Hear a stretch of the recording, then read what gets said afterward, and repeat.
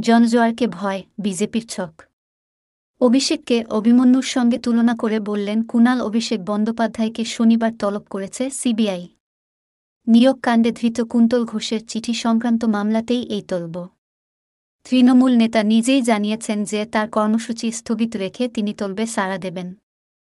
আজ রাতেই অভিষেক কলকাতায় ফিরে আসছেন বলে জানা গিয়েছে। তবে এই নিয়ে বিজেপিকে আক্রমণ করতে ছাড়লেন না তৃণমূল কংগ্রেসের মুখপাত্র কুণাল ঘোষ। তার দাবি, এটি বিজেপির ছক ছাড়া আর কিছুই নয়। অভিষেক বন্দ্যোপাধ্যায়কে তলব করা হয়েছে এমন খবর সামনে আসতেই কুণাল ঘোষ টুইট করেন। সেই টুইটে তিনি দাবি করেছেন, অভিষেক বন্দ্যোপাধ্যায়ের জনজোয়ারকে ভয় পেয়ে কর্মসূচিতে বিঘ্ন ঘটানোর চক্রান্তেই সিবিআইকে দিয়ে বিজেপির এই তড়িঘড়ি নোটিশের ছক। এভাবে নবজোয়ার থামানো যাবে না।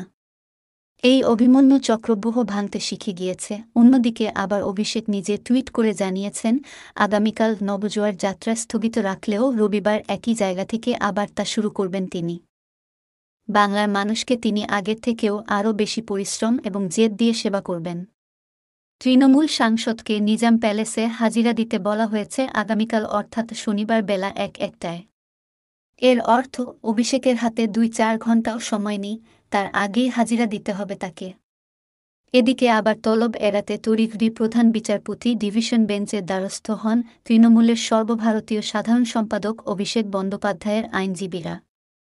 কিন্তু বিচারপতি সুব্রত তালুকদারের ডিভিশন বেঞ্চ থেকে মামলা রিলিজ করে দেওয়া হয়েছে।